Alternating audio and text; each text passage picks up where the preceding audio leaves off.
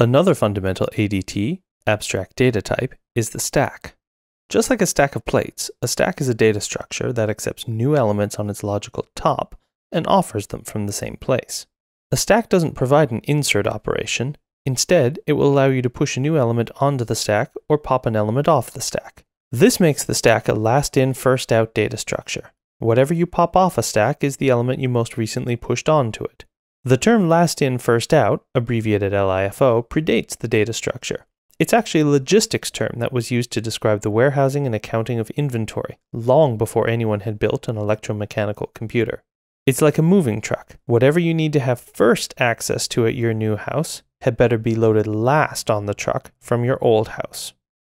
The stack only needs to support the push and pop operations, and an operation to peek at the current top value, plus perhaps a method to get the current depth of the stack. This gives us a lot of freedom in terms of how we implement it internally.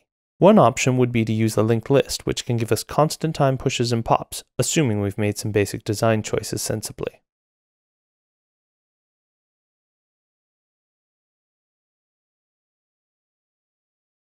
However, although a linked list can give us constant time push and pop operations, the constants involved are quite high.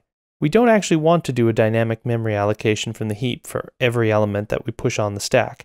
Instead, it's often better to implement a stack using a vector, an array, or even architecture-specific CPU instructions. What's the cost of pushing to the back of a vector or a manually managed array? Well, I'm glad you asked. The cost of adding to a dynamically growable array, such as a vector, depends on the strategy that we use for allocating memory. Whenever we don't have enough memory to store an element being pushed, we need to allocate a new array, copy the old values over, and then write the new value. One strategy would be to allocate a new array that's one element larger than the old one. This is simple, but it comes at a cost. We will have to do a new allocation and order n value copies or moves on every push. If, on the other hand, we double the array every time we allocate more memory, we can amortize or spread out the cost of the allocations across many push operations. The first push to our empty array will require us to do one allocation and one write of the element being pushed. The next push will require one allocation of size 2, one copy from the old array, and one write of the new element. The next push will cause us to do one allocation, two copies, and one write. That allocation buys us a freebie, the next push will only cost one write. We will perform allocations and copies at push 1, 2, 4, 8, 16, etc. up to n over 2 and then n, but all of the intermediate pushes will be pretty close to free. If we add up the allocations, copies, and writes, we can see that each allocation gets us twice as much memory as the one before it. So the size of the array is 2 to the a. Therefore a is the base 2 logarithm of n. C, the number of copies, will be something like n plus n over 2 plus n over 4 and all the way down to 2 plus 1. This is a geometric series of n over 2 to the i from 0 to a, which we know is from 0 to the base 2 log of n. This geometric series works out to approximately 2n. It's actually 2n minus 1, but we don't care about lower order terms. Finally, the number of writes required for n pushes is n times 1 write per push, which is just n.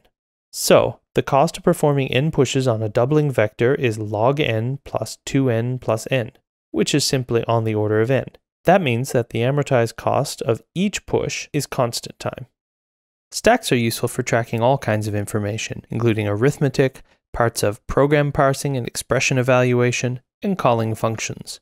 Remember that local variables in C++ programs are stored in a memory region called the stack. This is a super optimized version of the generic data structure that we're looking at.